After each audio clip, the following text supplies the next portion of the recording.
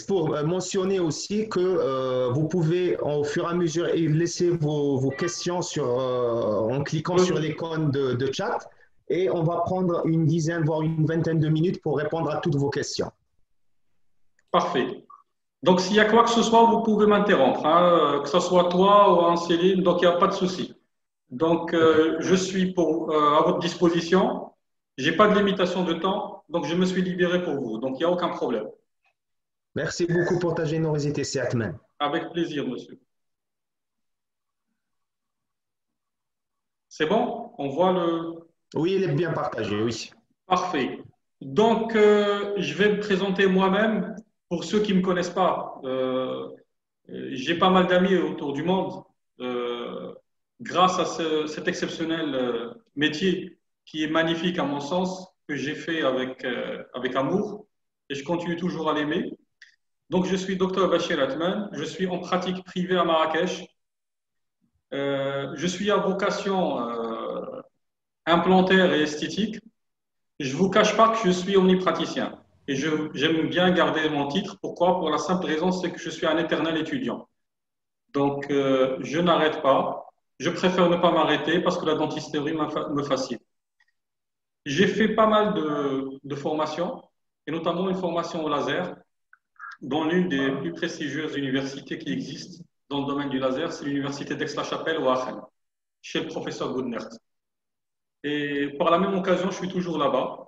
Et donc, euh, on partage toujours ce savoir-faire deux fois par semaine avec une équipe de 20 personnes. Et croyez-moi que c'est fascinant, ça nous fascine tous les, tous les jours.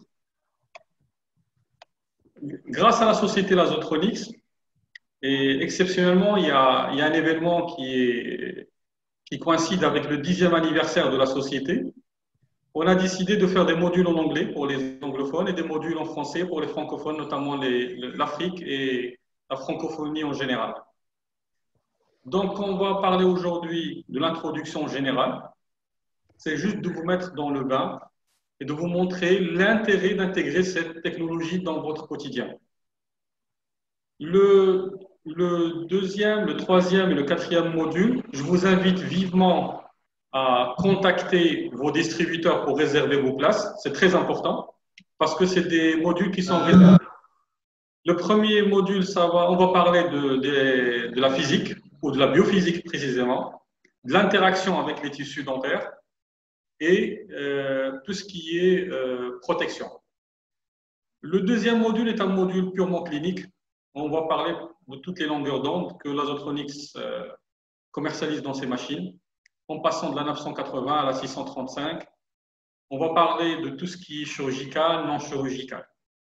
Le dernier euh, module, c'est un module euh, très, très spécial et très intéressant, et dont l'Azotronics, à mon avis, est un des leaders avec cette longueur d'onde qui est la 635, qui permet de faire des choses magnifiques donc, c'est des choses qui sont non chirurgicales. C'est une longueur qui est non chirurgicale.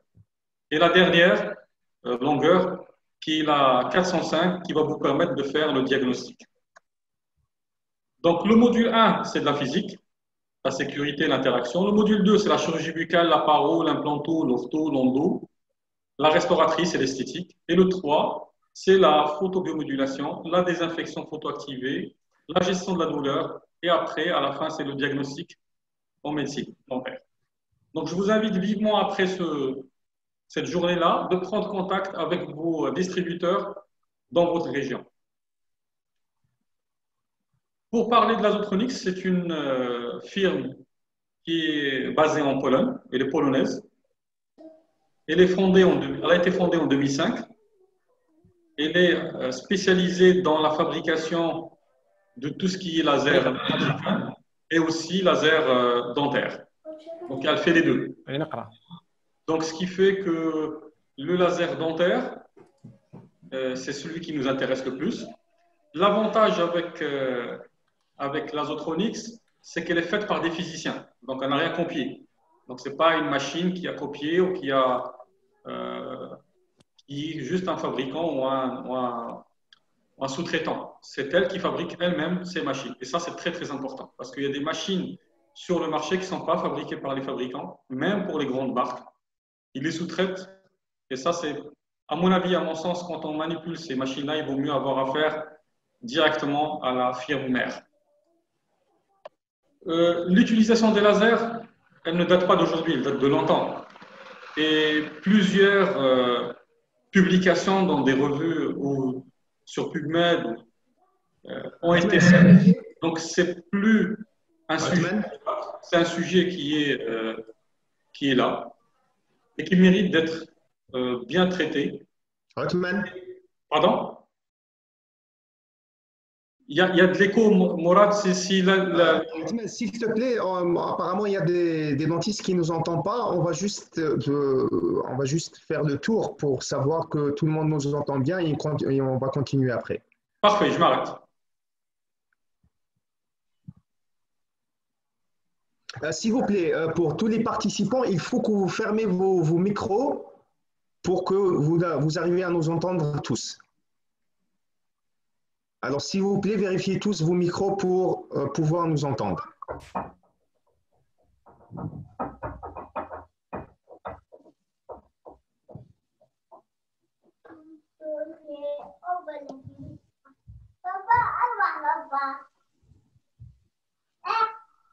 C'est bon, Atma, tu peux continuer. Il y a de l'écho, je pense. Il y a quelqu'un qui a toujours... Euh, non, c'est bon? Parfait. Donc, comme je disais, euh, l'utilisation des lasers, elle date de, longtemps et n'est pas un sujet à débattre. Ça fait preuve de publication dans des revues scientifiques, euh, des revues qui sont euh, sérieuses. Donc, aujourd'hui, on est amené à utiliser cette technologie dans notre pratique quotidienne.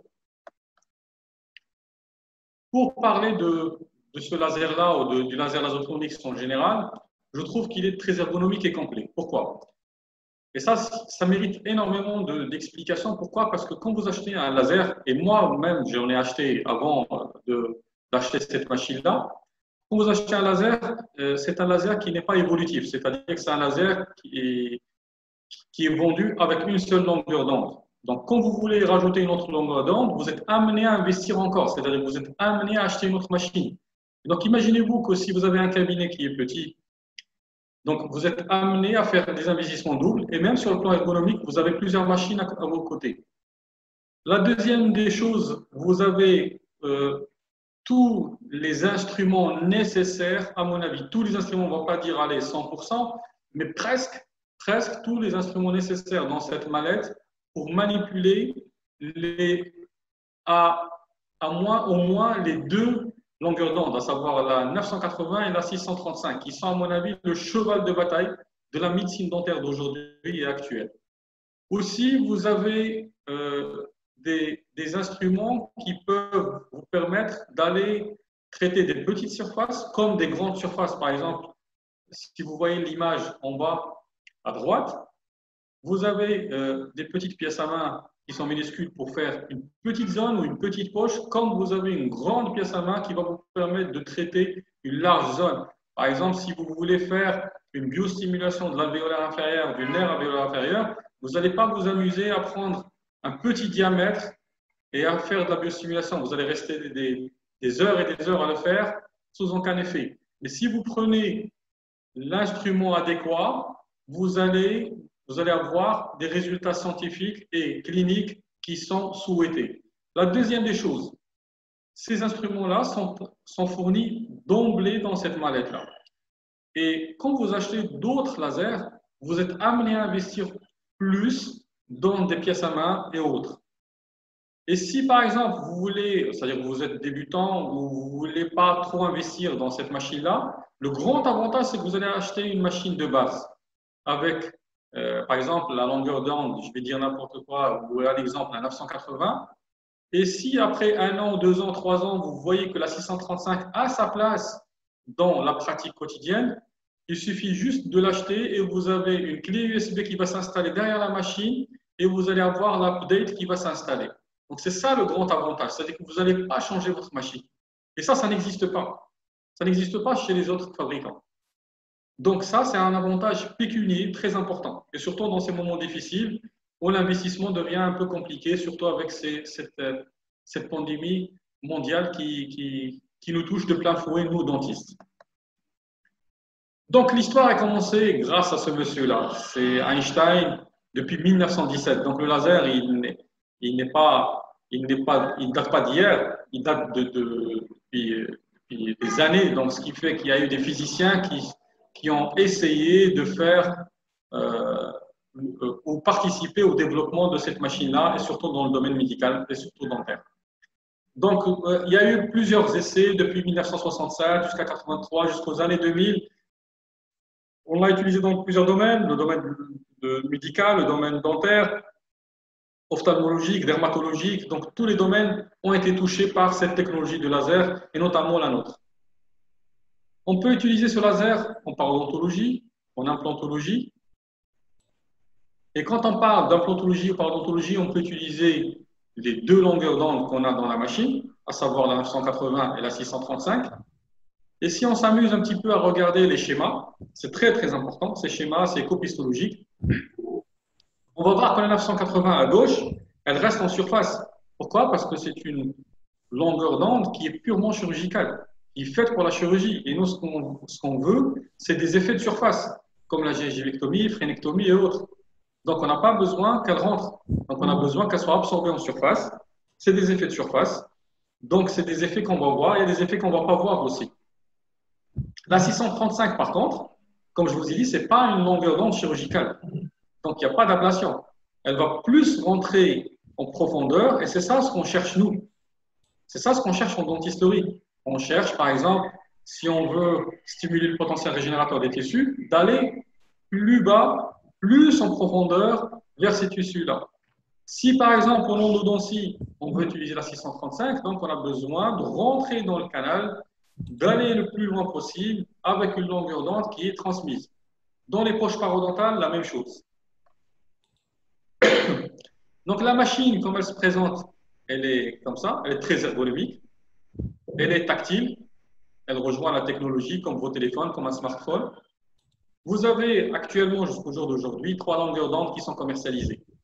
Vous avez la 980, qui est faite pour la chirurgie buccale en général, que ce soit paro ou implanto. On peut l'utiliser aussi pour le blanchiment. Elle est très intéressante. On a la 635 pour tout ce qui est effet de photobiomodulation. La désinfection activée par utilisation de photosensibiliseurs.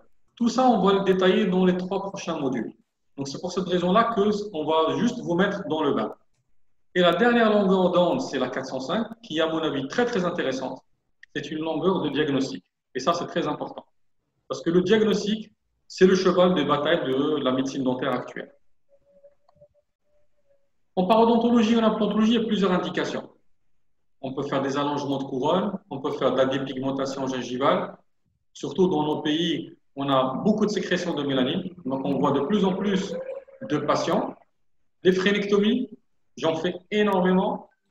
Pourquoi? Parce que si vous faites une phrénectomie, surtout à but orthodontique, euh, pour des enfants ou des adolescents, ils gardent un très très bon souvenir. Imaginez quelqu'un qui va vous donner votre enfant pour faire une phrénectomie à la lame 15. À à mon avis, et à mon sens, au jour d'aujourd'hui, ça ne doit pas exister c'est quasiment impossible de faire à la 15 une phrénectomie. Euh, pardon. Pardon, pardon. Toujours quelques dentistes qui ne nous entendent pas. Un petit moment. Parfait.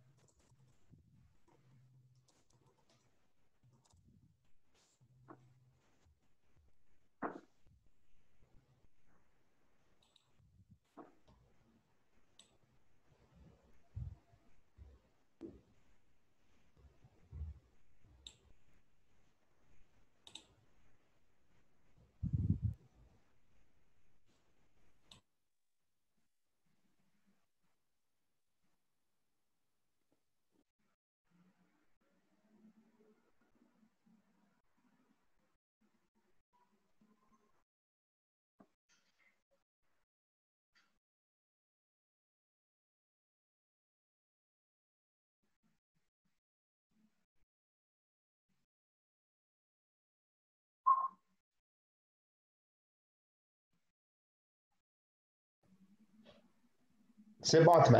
C'est bon, parfait, merci. Donc, comme je disais, les indications par odontologie et en implantologie sont diverses. On peut faire des allongements de couronne. On peut faire des dépigmentations, pardon, gingivales. Comme j'ai dit, il y a beaucoup de sécrétions de mélanine dans notre continent africain. Il y a les phrénectomies, surtout euh, pour les enfants et les adolescents. Donc, ils gardent un très très bon souvenir, vu qu'il n'y a pas de suite opératoire après la chirurgie. Il n'y a pas de fil de suture. C'est des cicatrisations qui se passent dans de très très bonnes conditions. Les hyperplasies gingivales, on en voit énormément, surtout en cours de traitement orthodontique et autres. Les thérapies parodontales non chirurgicales. Et quand je parle de thérapie parodontale non chirurgicale, ça ne veut pas dire que le laser va remplacer les thérapeutiques parodontales classiques. Je vais le détailler tout à l'heure. Le laser, il, il, traite ou il est complément de la thérapeutique classique. C'est ça ce qu'il faut préciser.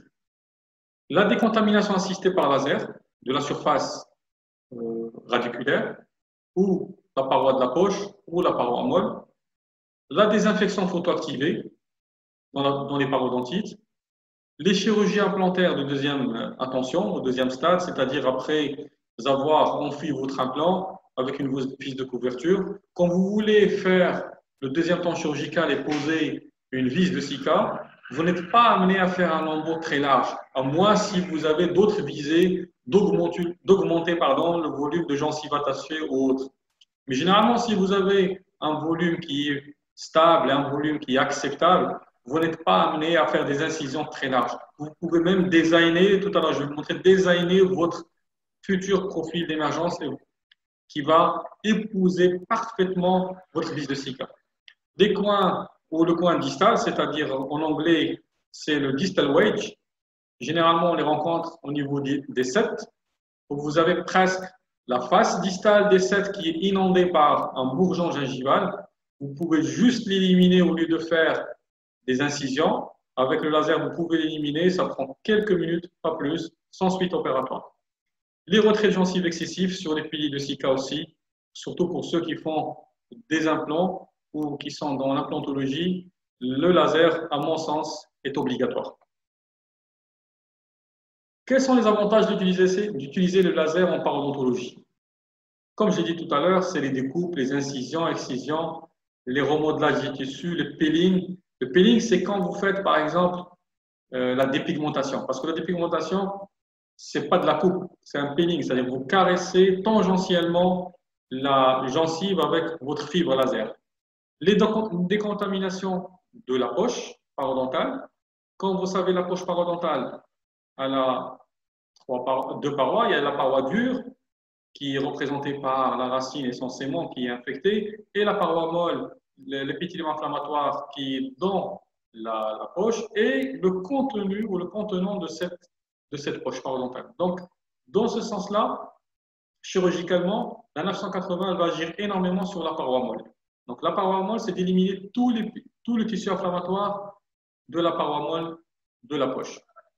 Euh, le nettoyage des surfaces d'implant, il faut le prendre avec beaucoup de pincettes parce que euh, il ne faut pas aussi chauffer les surfaces d'implant et toutes les surfaces d'implant ne se ressemblent pas. Donc il y a tout un débat, c'est très très large, mais je vais vous expliquer ça en détail. La biomodulation tissulaire et l'effet anti-inflammatoire en post-chirurgical. Les allongements de couronne, donc, ils peuvent être effectués, mais avec beaucoup de, précautions. C'est-à-dire, on parle de gencives excessives, tout en respectant les dogmes de la parodontologie, c'est-à-dire l'espace biologique de 2.04, qui est très important. C'est-à-dire qu'il faut déjà mesurer avec une sonde parodontale cet espace biologique, de voir est-ce qu'on a suffisamment de gencives à éliminer ou est-ce que vraiment on peut le faire juste avec le laser, avec la fibre laser, ou il faut combiner aussi le management des tissus durs et tissus mous. Donc, il faut faire très attention. Ça ne veut pas dire que si j'ai un laser, je vais m'amuser à éliminer de la gencive alors que je n'ai pas respecté mon espace biologique. Comme dans ce cas-là, c'est une, patiente qui est venue chez moi, elle a passé cinq minutes chez moi au cabinet. Son orthodontiste me l'a adressé, il venait de débaguer et de mettre ses, contentions. La patiente était outrée parce que les deux centrales n'étaient pas, n'étaient pas alignées, c'est-à-dire les deux collets des centrales n'étaient pas alignés. Il m'appelle, c'était 18h30, il me dit, il faut que tu me sauves, il y a quelque chose qui ne va pas. Et quand je vois je vois que les deux bords libres des deux centrales sont identiques, c'est-à-dire c'est au même niveau. Donc il y a un effet optique au niveau de la gencive qu'il faut manager, surtout au niveau de la 21. Donc, comme vous voyez, ça a pris même pas 5 minutes avec la 980. J'utilise le mode continu. Je vais en parler après en physique. Pourquoi? Il faut être très très prudent. C'est un mode qui n'est pas facile à manager. Donc, on va en parler après. Et une puissance de 3 watts.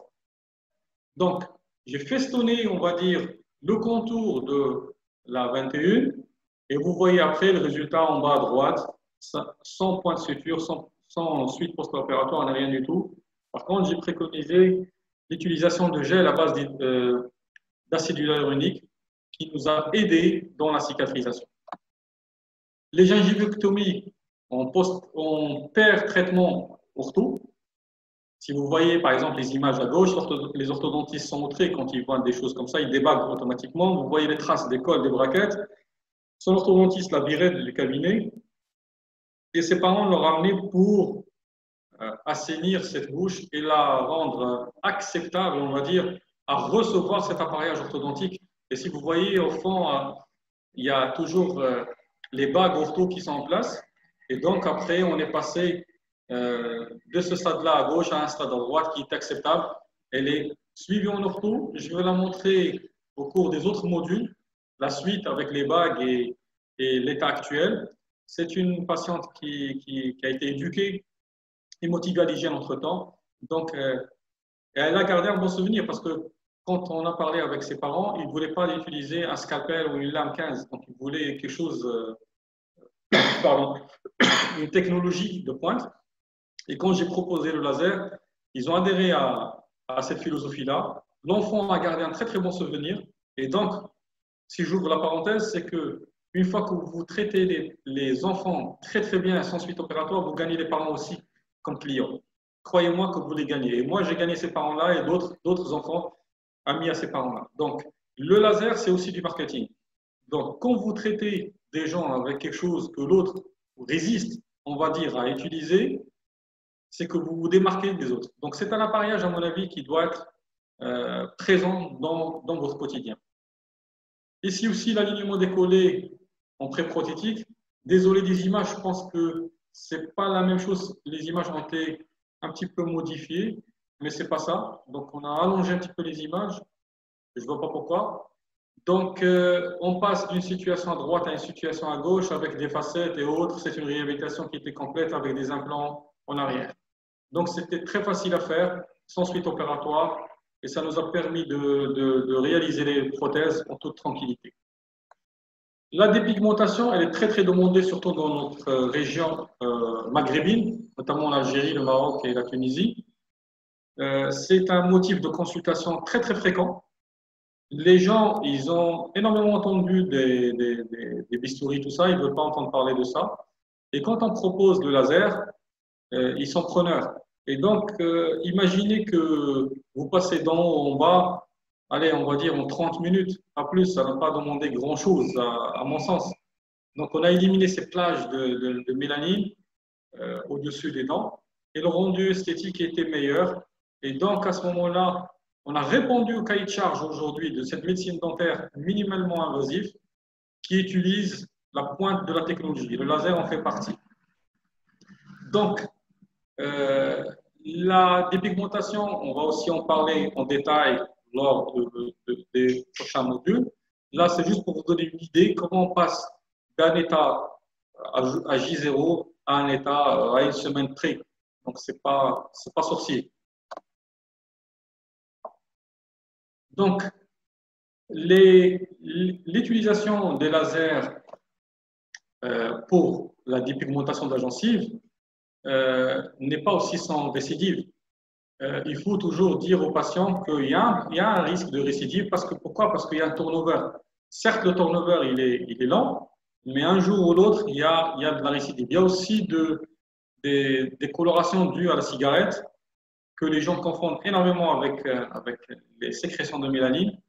C'est pour cette raison-là qu'il faut euh, faire un examen ou une anamnèse approfondie.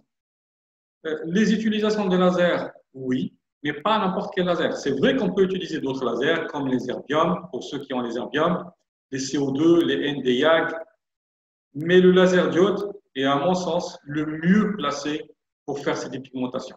Et vous allez voir physiquement pourquoi après. Parce que la physique, c'est la base de la clinique et ce n'est pas l'inverse. Aujourd'hui, on ne vous vend pas des recettes. C'est pour cette raison-là, avec l'Azotronix, on a préféré faire les modules dans les normes de l'art, c'est-à-dire que passer par le fondamental pour arriver à la clinique. On ne peut pas vendre des machines comme ça. Il faut vendre des machines, certes, qui sont très, il y a de très dans les machines, mais il faut que le praticien lui-même soit apte à les modifier en fonction de la physique qu'il a compris. Et en fonction de ça, la clinique, tout le monde est clinicien, donc tout le monde sait manipuler les tissus. Mais par contre, en comprenant la, physique, en maîtrisant la physique, vous allez avoir un outil exceptionnel entre les mains. Pour les phrénectomies, on a deux indications. Il y a des phrénectomies à but parodontal, c'est-à-dire les indications sont parodontales, dans les raisons que vous les connaissez bien, c'est-à-dire les récessions ou autres. Et il y a aussi les phrénectomies en orthodontie qui sont très très très fréquentes, surtout chez les enfants. Euh, et c'est très fréquent, pourquoi? Parce que l'orthodontiste a du mal, surtout dans le frein labial supérieur, à fermer le diastème entre les deux centrales.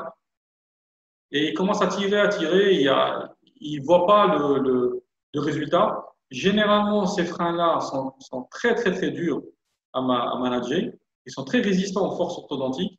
Et donc, une fois la phrénectomie réalisée, cette phrénectomie-là va vous permettre de faire le mouvement orthodontique en toute sécurité et toute facilité en un temps record. Comme dans ce cas-là où il y avait un, un diastème énorme et l'orthodontiste, il, il avait beau à, à tirer, il n'arrivait pas. Et une fois qu'il m'a adressé son patient, j'ai préconisé aussi de faire euh, le festonnage des, gencives parce qu'il y avait l'excroissance des gencives. On, avait presque la gencive qui allait arriver vers les braquettes. Donc, j'ai perdu en cours de route ce patient-là parce qu'il a changé de ville, mais son orthodontiste m'a confirmé que ça se passe très très bien et que son diastème est fermé. Les hyperplasies, on l'a vu, aussi. Donc c'est très facile, gingivectomie et autres, avec la 980. Maintenant, on va rentrer dans des protocoles un peu plus précis grâce à ces lasers-là. C'est-à-dire une combinaison de deux longueurs d'onde. C'est ça l'avantage d'avoir deux longueurs d'onde dans le même appareil. À savoir une 980 chirurgicale pure et une 635 pour la désinfection. Et ça, ça va vous permettre de gérer votre problème parodontal d'une façon un peu plus large que d'habitude que d'avoir une son de longueur. Pourquoi? Parce que ces lasers-là vont être des compléments cliniques, et ça c'est prouvé scientifiquement, des compléments pour assister votre thérapeutique parodontale. Il y a eu plusieurs publications, vous pouvez trouver sur PubMed et autres, notamment la dernière du professeur Goudler, dont, je vous ai parlé, qui est un patron à Aix-la-Chapelle.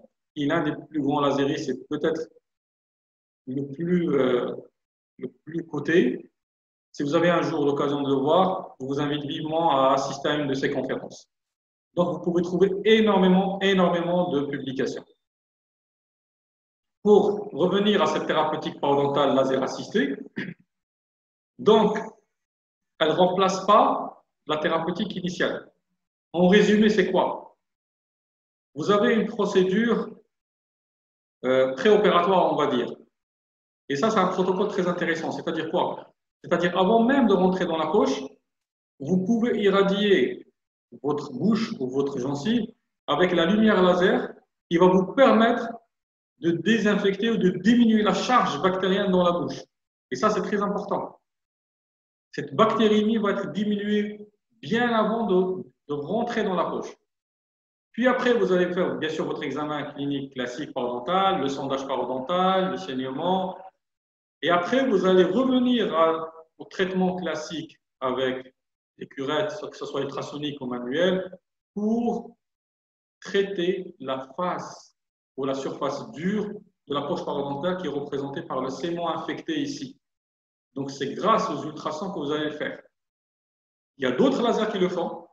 Ce n'est pas le but d'aujourd'hui, c'est des lasers herbiens, c'est une autre famille. Mais c'est très très cher de faire cet investissement-là. Par contre, à mon sens, les ultrasons ont toujours leur place. Donc, une fois que vous utilisez ces ultrasons, vous allez les utiliser pour la surface dure, pour le sément. Et après, vous allez décontaminer le contenant de la poche, comme vous le voyez à droite, soit en injectant des photosensibiliseurs, pour ceux qui connaissent déjà cette thérapie, c'est-à-dire bleu de méthylène, toluidine ou autre, ou, ou, oxygéné. Pour ceux qui utilisent l'oxygéné, c'est une, euh, PDT sans colorant, c'est-à-dire on n'utilise pas de colorant. Et bien sûr, vous allez décontaminer ou éliminer tout, tout le tissu inflammatoire de la paroi molle de la poche.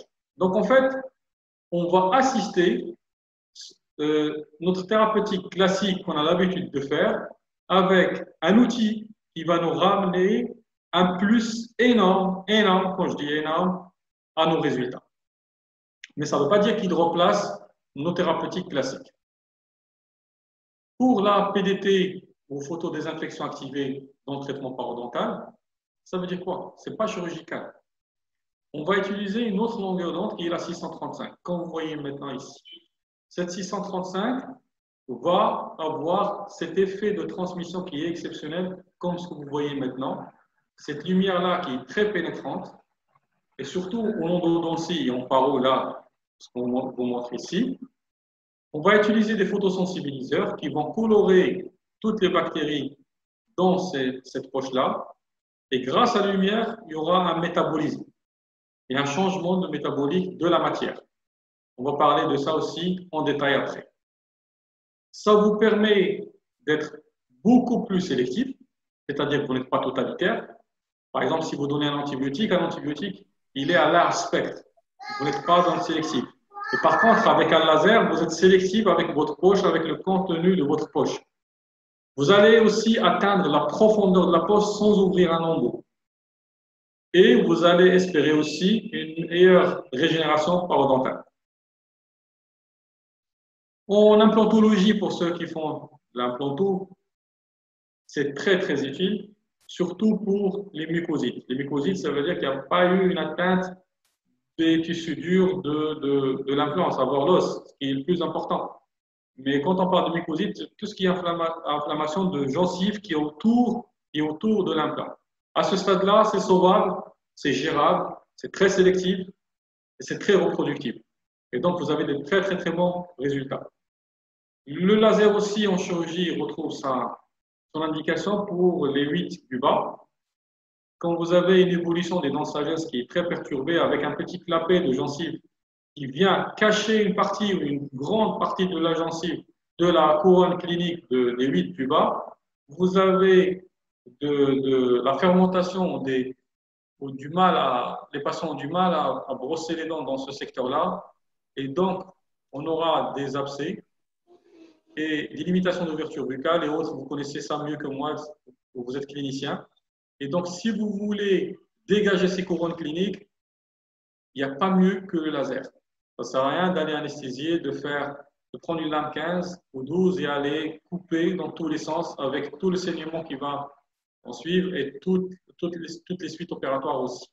Ça va vous prendre 5-7 minutes, croyez-moi, et je vais vous montrer des cas après. Et c'est très, très, très intéressant. En pathologie buccale, ça trouve aussi son indication. Donc, je vais rentrer en détail après. Ces lasers-là ont plusieurs modes de fonctionnement, c'est-à-dire soit des modes continus, soit des pulsés, soit des superpulsés. Il faut toujours comprendre que cette puissance moyenne reste la même, quelle que soit la puissance. Pourquoi? Ça va vous permettre de comprendre l'acte et de gérer l'acte que vous êtes en train de faire. Si par exemple, pour le même, la même longueur d'onde, qui par exemple, on peut prendre ici 980, et vous changez juste le mode entre, par exemple, à gauche, vous avez de la superimpulsion, à droite, CW, c'est des abréviations euh, anglophones, c'est Continuous Wave, au mode continu, vous changez complètement l'acte. C'est-à-dire quoi?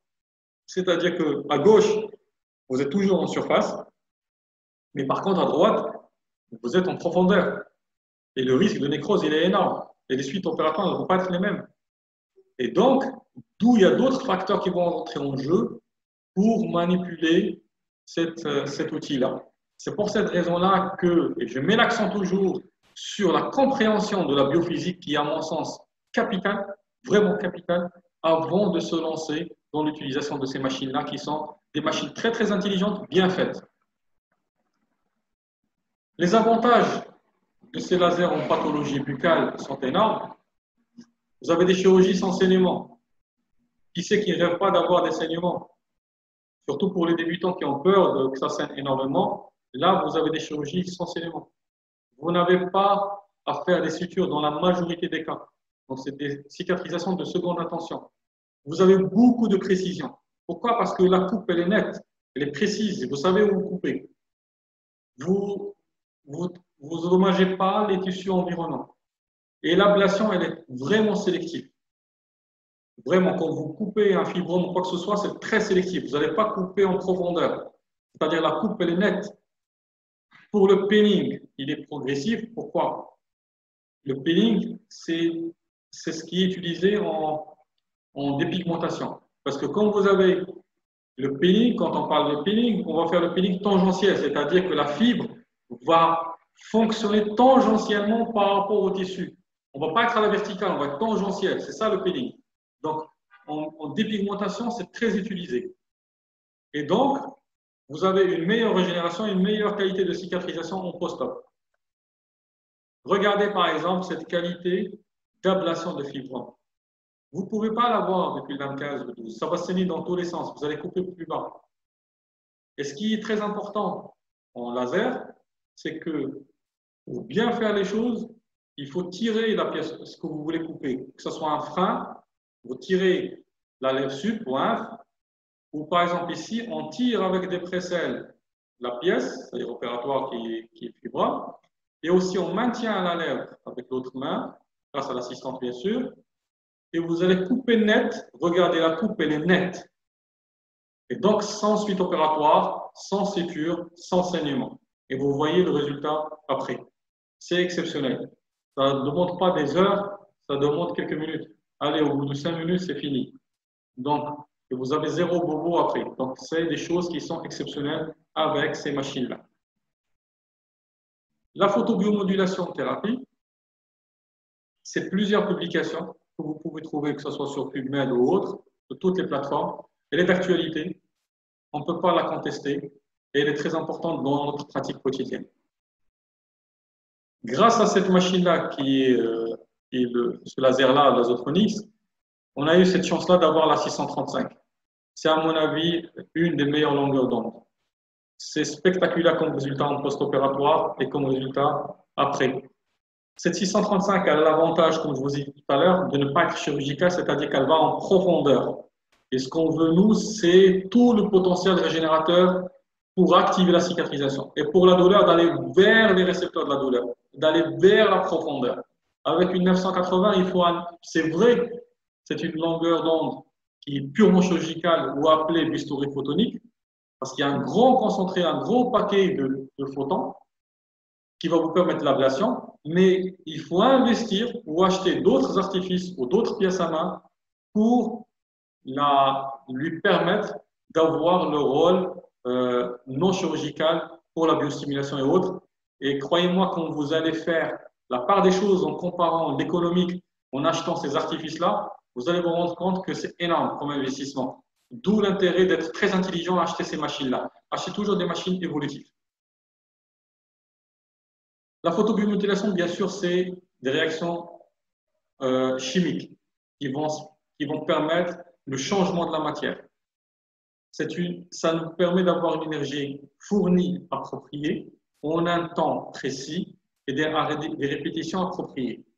Donc, on a standardisé les effets. Donc, tout est réglé.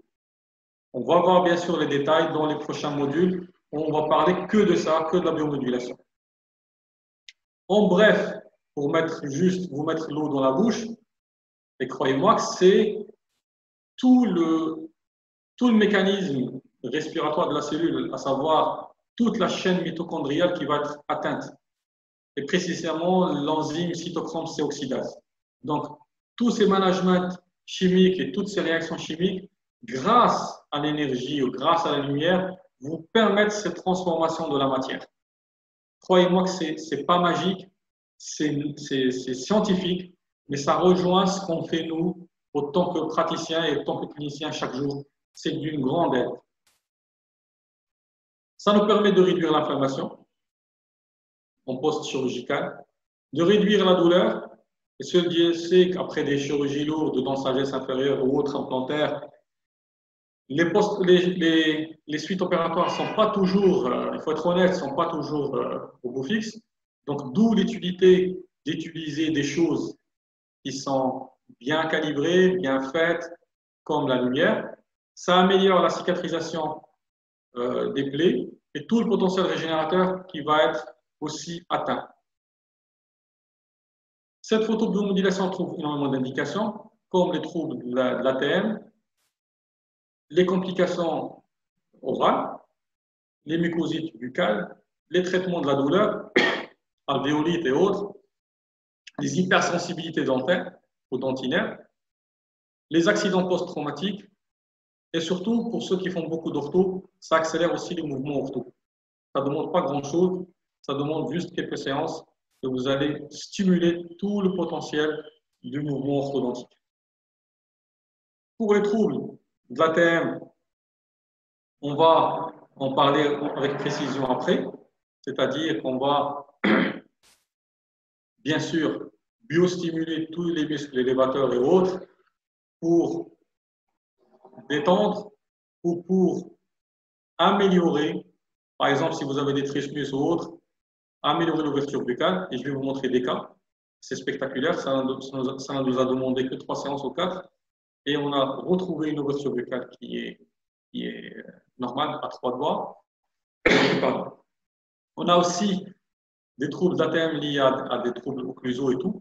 C'est vrai qu'on doit régler d'autres choses, il faut voir l'étiologie. On ne va pas dire que c'est sourcil, ça règle tout, mais l'étiologie est importante, d'où une anamnèse qui est bien précise.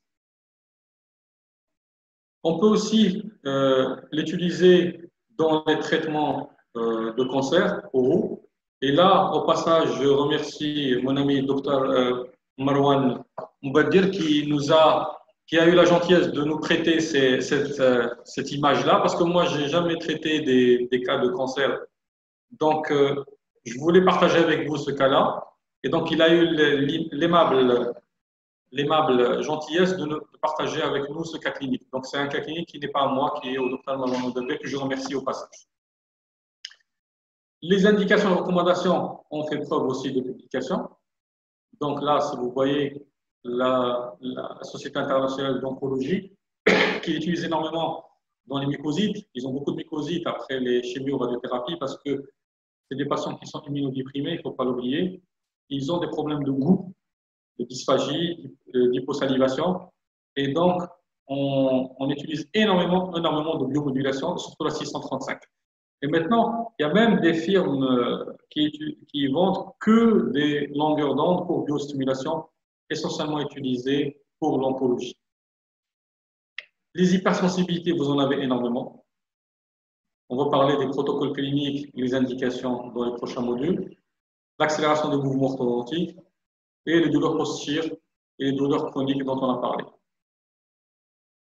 On, ce laser-là trouve aussi son indication en endodontie, en dentisterie restauratrice et esthétique. Les, indications sont, énormes, elles sont très importantes, comme un feston gingival à, aligner avec les dents adjacentes, les restaurations critiques, parce que des fois, vous avez des hyperplasies gingivales qui ne vous permettent pas de placer, par exemple, vos matrices, qui ne vous permettent pas de bien placer votre composite ou qui peuvent, euh, par exemple le laser, va vous permettre de diminuer un petit peu le volume gingival, de placer un coin ou une matrice et ça va vous permettre de faire votre restauration en toute tranquillité. Les hypersensibilités dentinaires, l'écophage pulpaire, c'est très très important, très important. Et c'est une utilisation qui est exceptionnelle. Le blanchiment au fauteuil, il trouve son indication, surtout pour les gens qui ont beaucoup de dents sensibles. On en trouve euh, euh, énormément surtout pour les jeunes, avec des, des volumes pulpaires qui sont un petit peu conséquents, et la correction des contours gingivaux. Ça permet aussi la décontamination des canaux radiculaires. Comme vous savez, l'endodontie est le cheval de bataille de la dentisterie. Et l'endodontie signifie euh, décontamination du système canalaire. Ce n'est pas facile. Il n'y a pas que le rotatif. Et le laser, c'est un, un complément, je le dis encore, c'est un complément. On parle dossiers euh, laser assisté. Ça ne veut pas dire que ça va remplacer vos livres manuels ou, rotatifs, mais le laser va venir euh, améliorer votre décontamination, améliorer vos résultats. Je le dis, je le redis. Donc, il faut faire très, très, très attention.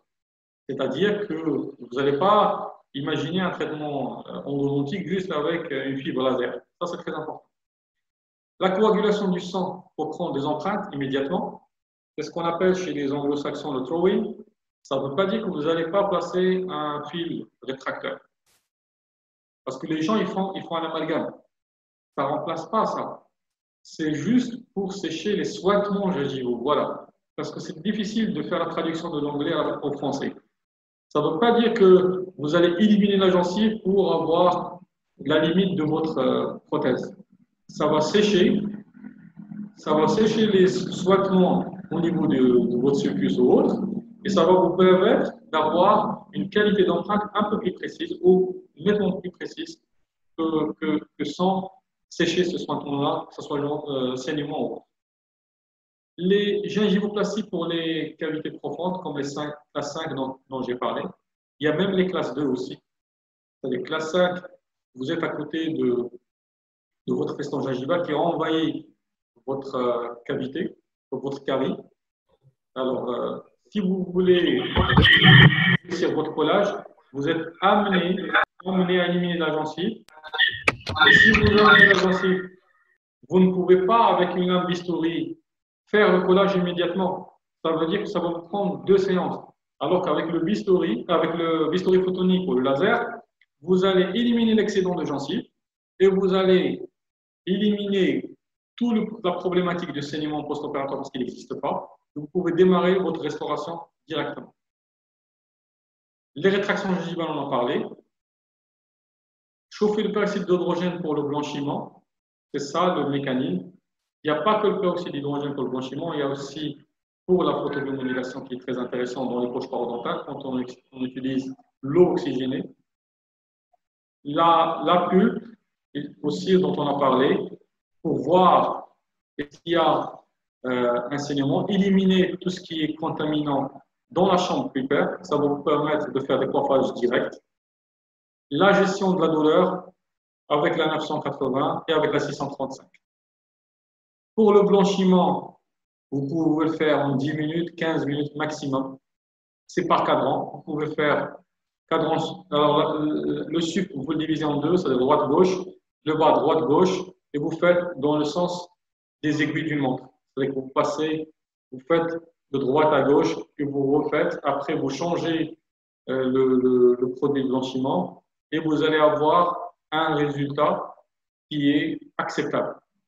Et ça vous permet aussi de faire les blanchiments qui sont d'urgence, on va dire, surtout pour ceux qui se marient le lendemain, qui se ramènent la veille euh, chez le, dentiste. On croit que le dentiste va faire un blanchiment immédiatement. Il n'y a que le laser qui peut faire un, effet immédiat. Pour l'autre, il faut vraiment des séances pour qu'on arrive à un résultat. Comme j'ai dit tout à l'heure, en implantologie, on, ça trouve une indication euh, phénoménale comme ici dans ce cas-là, où j'étais juste amené à éliminer ou à sculpter ma, mon futur lit de vis de Sika, comme vous le voyez ici. J'ai posé ma vis de Sika, c'était nickel, je l'ai retiré, j'ai pris l'emprunt sur le champ. Donc j'ai gagné deux séances. Donc imaginez que vous gagnez deux séances. au jour d'aujourd'hui, le praticien intelligent, c'est celui qui comptabilise aussi le temps passé sur le fauteuil plus vous passez le temps en fauteuil avec votre patient, plus il vous coûte vous cher. Ça veut dire pas, vous n'êtes pas obligé de lui comptabiliser ça. Mais plus vous diminuez les séances, plus vous êtes gagnant. Parce que vous allez utiliser moins de matériel, moins de temps. Et le temps, c'est l'argent. Donc ici, c'est surtout pour les implantologues, c'est 10 minutes, pas plus. 15 années avec l'empreinte et c'est fini. Vous avez peut-être posé votre vis de SICA et c'est terminé. La coagulation en post-extraction, Là, on n'a pas mis de matériaux, c'est-à-dire matériaux de, comblement, ni PRF, ni rien du tout. C'est juste une coagulation. Je me suis amusé à coaguler l'alvéole.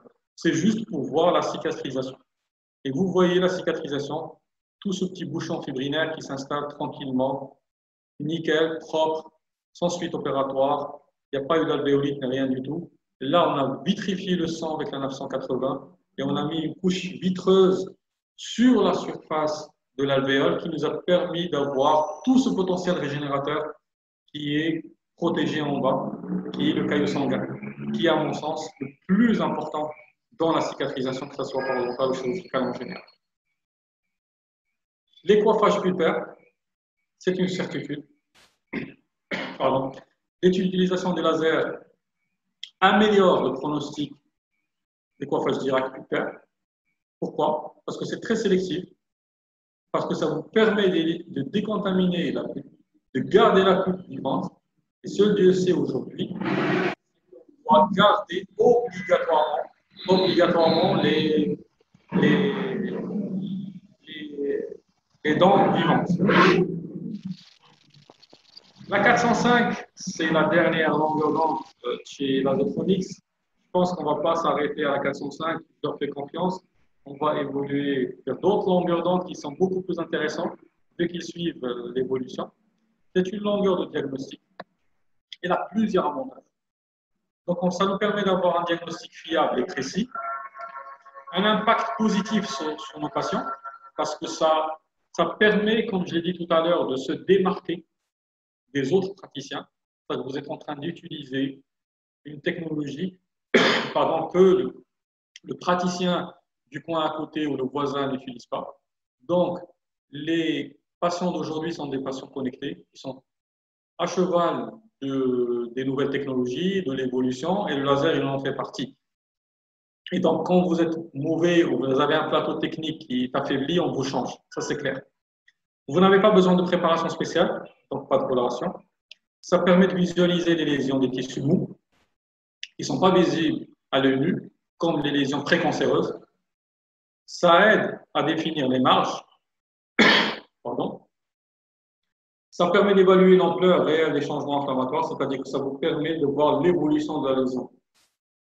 Et vous avez aussi des effets positifs sur le traitement d'ostéonécrose des mâchoires. Je pense que j'ai respecté mon temps. C'était juste un panorama global pour vous mettre dans le bain avant les trois euh, prochains modules que je vous invite vivement à y assister, à prendre contact avec vos distributeurs euh, euh, régionaux, que ce soit en Europe ou en Afrique. Donc, sans trop tarder, je vais laisser la parole à mon administrateur, M. Mourad, je pense, qui est là pour les questions et réponses. Donc, je suis à votre disposition, M. Mourad. Mourad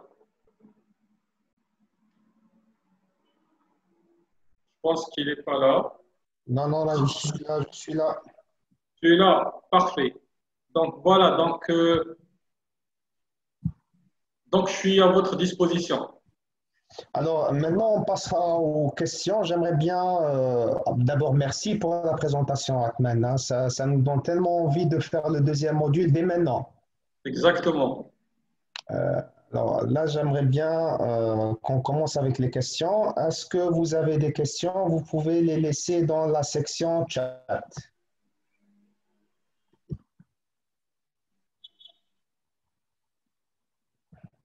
Euh, moi, j'ai une petite question. D'abord, euh, on entend souvent des, enfin, des remarques du genre un laser à 10 000 euros, un laser à 20 000 euros, un laser à 300 000 euros et on, enfin pas, 300 000, mais quand même 60 000, 70 000, et on se réfère toujours au prix, mais sans savoir réellement quel prix pour quel laser et surtout quelle utilisation pour quel laser. Je suis sûr que c'est un chapitre très long, mais j'aimerais bien que tu, nous expliques à peu près quel est le meilleur rapport qualité-prix pour quelqu'un qui, vient de, qui va commencer l'utilisation de, de laser.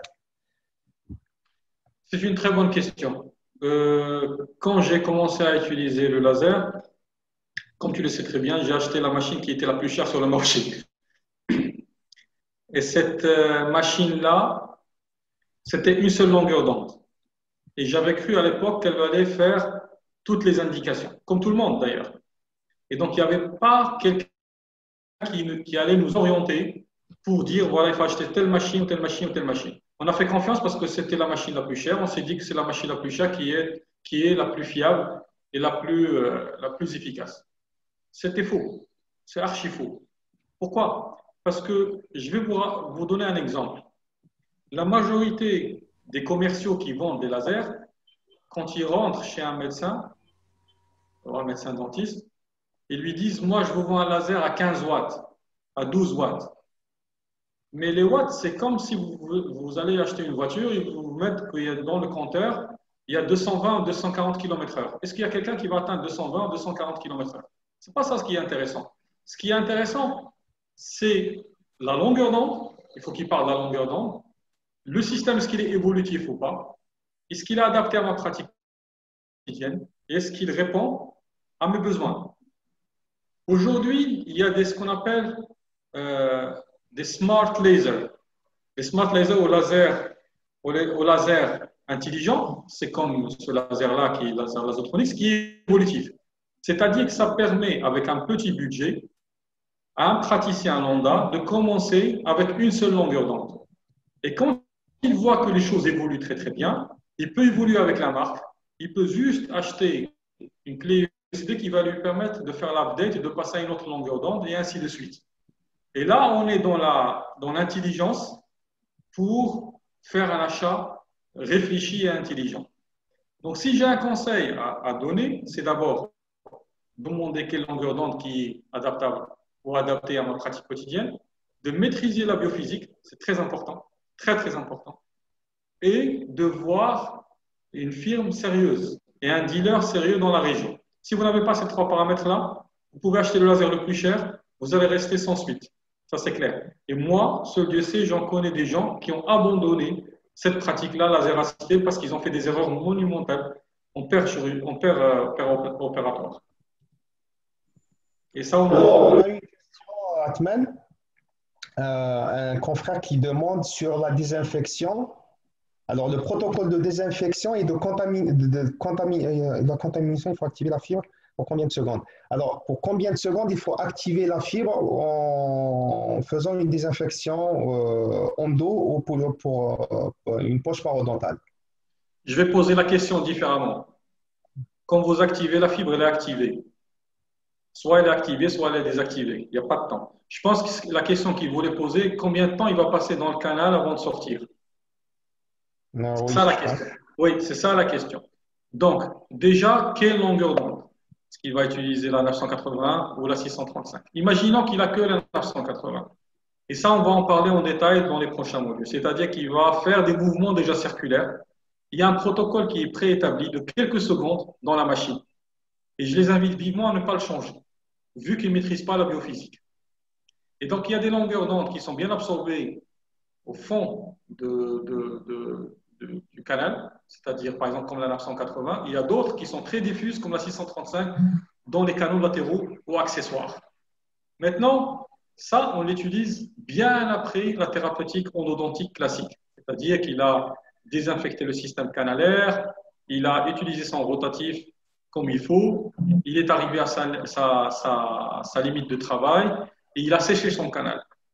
Et après, il va entrer avec sa 980, je pense que c'est ça la question, il va faire trois ou quatre mouvements circulaires, je dis bien circulaires, de l'apex vers le haut, de quelques secondes, allez, on va dire 15 secondes, 15 secondes, 20 secondes, et c'est répétitif.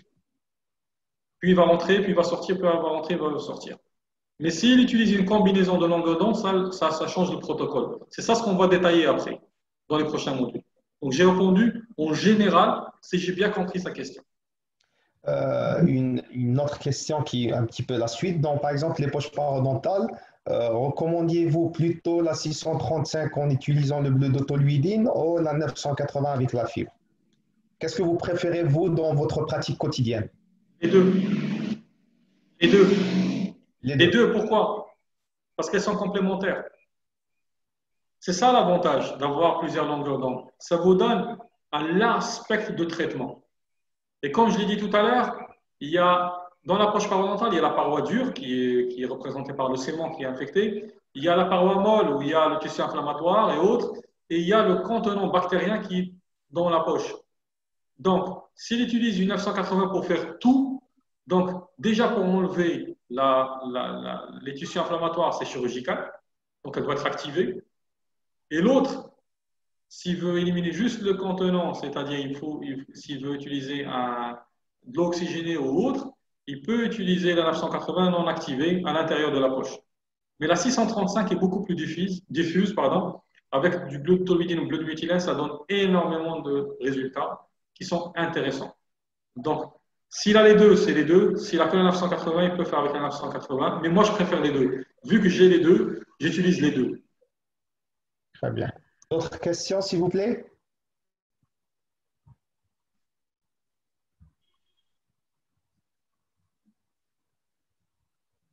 Alors, prochain module, euh, ça sera pour le 27 novembre.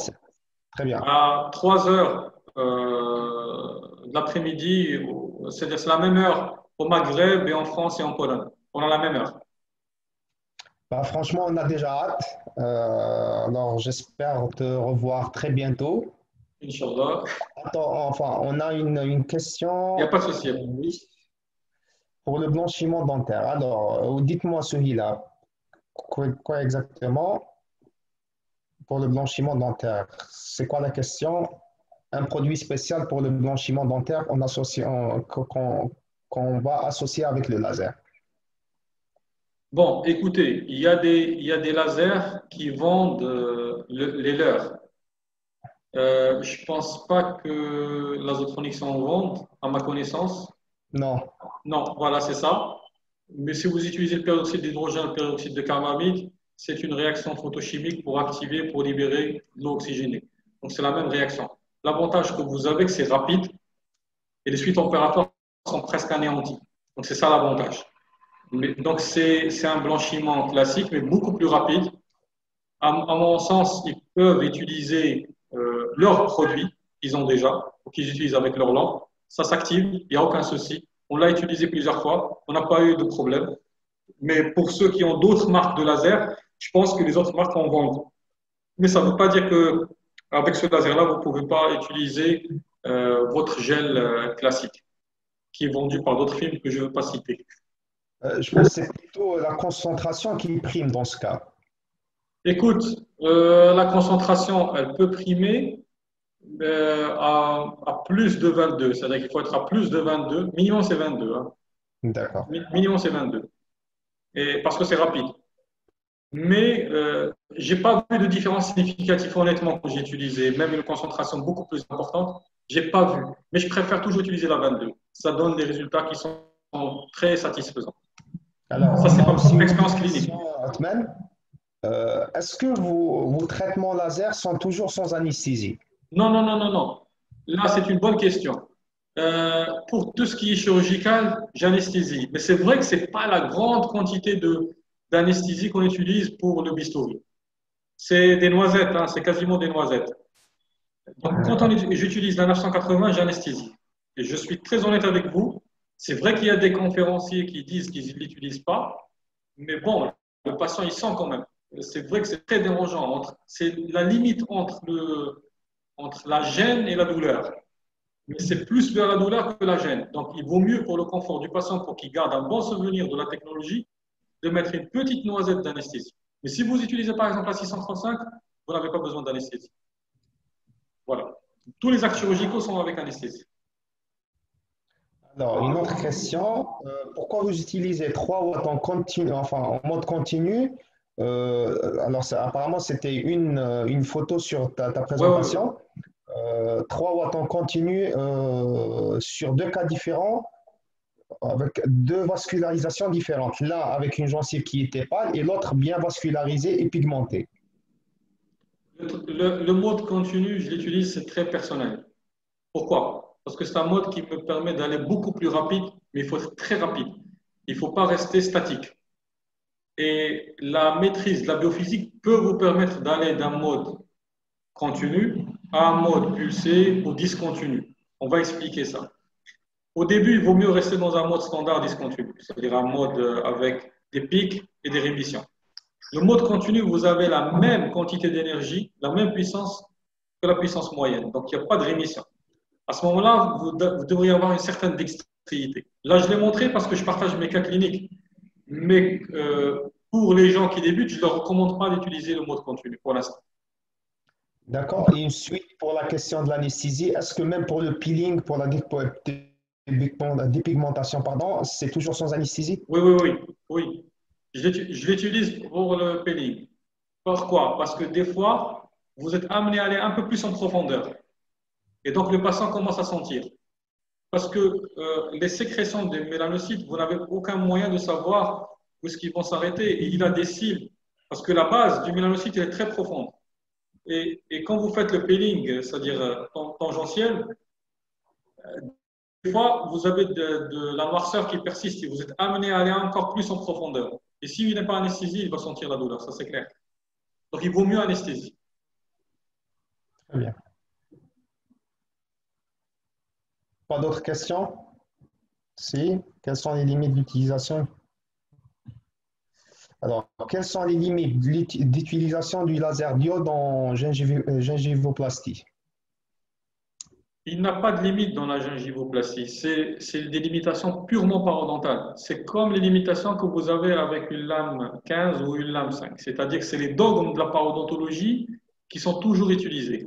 Si par exemple, vous respectez l'espace biologique et tout ça, vous pouvez utiliser votre bistouri photonique, c'est-à-dire le laser en toute tranquillité. Mais si vous avez à manager aussi l'espace biologique qui n'est pas respecté et que vous êtes obligé de toucher les tissus durs, c'est-à-dire l'os, là, vous êtes obligé aussi de passer au thérapeutique classique, c'est-à-dire diminuer l'os et repositionner le lambeau à sa nouvelle situation pour respecter cet espace biologique.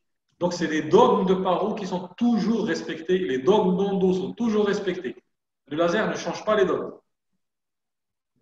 Bien. On a aussi une suite, euh, docteur Colombe euh, insiste sur l'anesthésie. Alors là, il, demande la concentration d'adrénaline sur l'anesthésie utilisée. Alors, je vais, je, vais le, je vais le surprendre. J'utilise que du 1 sur 100 000, que de l'articaïne 1 sur 100 000. Je n'ai pas 1 sur 200 000, je n'ai pas sans articaïne. J'utilise tout 1 sur 100 000 avec articaïne.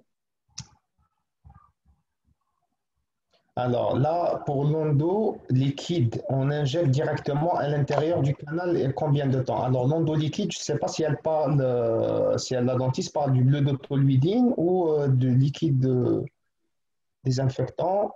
Si elle nous explique encore plus la question. Pour l'ondo liquide, là vous parlez du bleu d'autoluidine, docteur?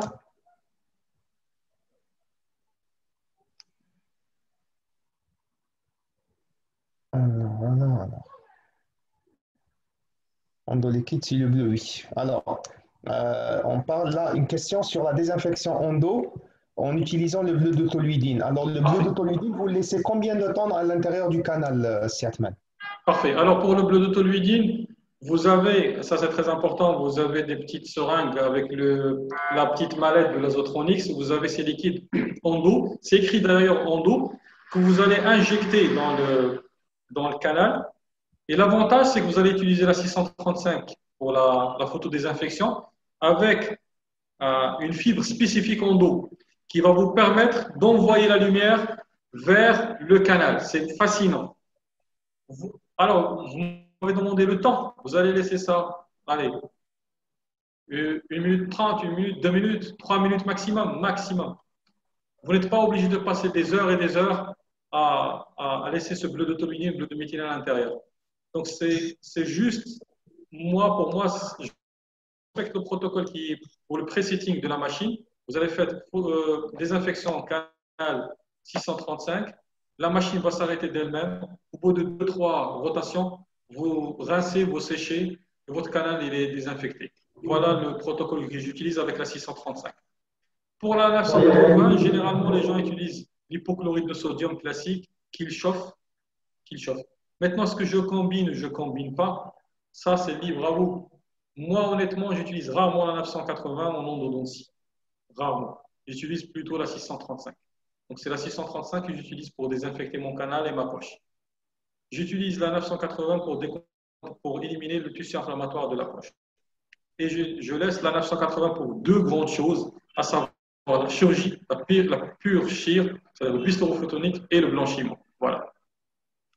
Il y a aussi cela qui te demande, faites-vous une combinaison de la 635 dans la gestion euh, de la douleur avec la, 980 pour limiter de l'anesthésie Pour limiter pour antidouleur de la 980. Est-ce que, si j'ai bien entendu, est-ce que j'utilise la 635 et la 980 pour gérer la douleur post-chirurgicale? C'est ça? Pour limiter l'anesthésie. Pourquoi je vais limiter l'anesthésie? C'est-à-dire que si j'ai bien compris la question, moi je vais utiliser la thérapeutique LLT ou photobiomodulation. Pour mettre moins d'anesthésie, apparemment, c'est ça la question. Non, non, non, ça ne change pas. Le, geste opératoire chirurgical, il est le même. C'est-à-dire que si je veux enlever une dent de sagesse, je vais mettre la même anesthésie que je mets classiquement. C'est pas ça qui m'intéresse. C'est de gérer la douleur en post-opératoire.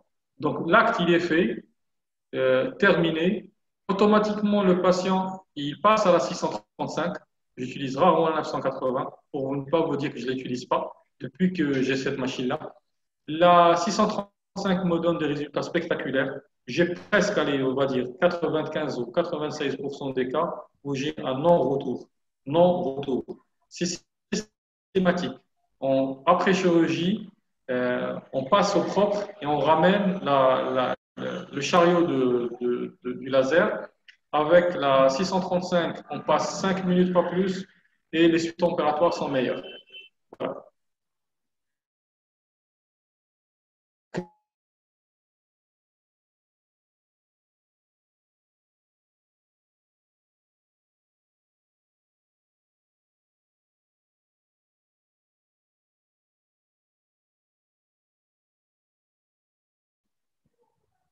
Si on amène à comparer le bistouri électrique.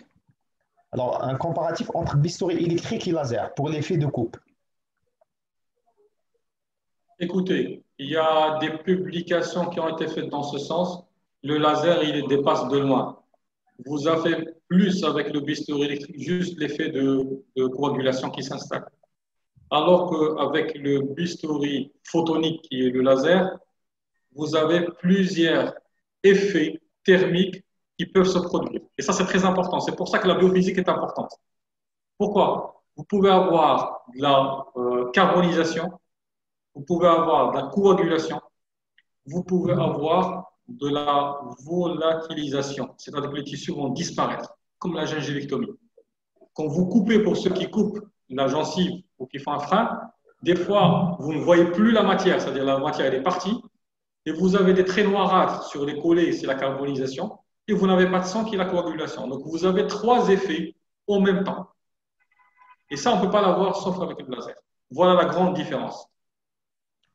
Docteur Assadi quand on a une gencive très fibreuse, c'est difficile à éliminer. Est-ce qu'il y a une, une, astuce pour, pour, pour faire un bon, une bonne gestion de, de ce type de gencive?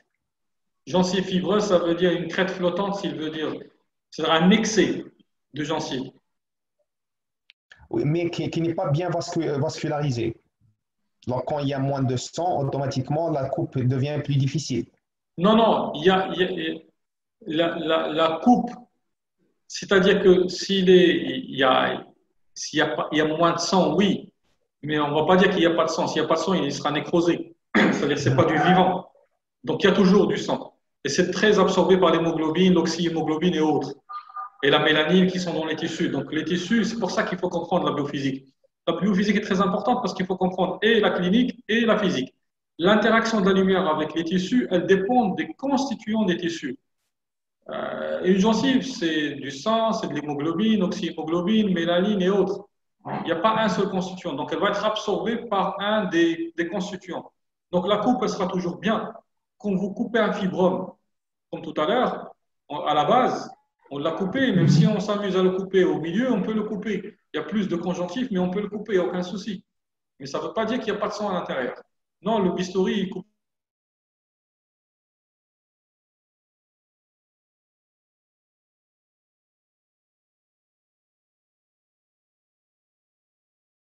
Euh, des lasers diodes, c'est elle qui est la plus rapide, la plus efficace. Alors, euh, s'arrêter là. Pour les autres questions qui sont encore plus, euh, plus deep, euh, qui touchent euh, la, pratique en général, là, ça va être, on aura un autre rendez-vous dans 15 jours, c'est ça? Ou 3 semaines 3 semaines. 3 semaines. Alors, rendez-vous, Inch'Allah, dans 3 semaines.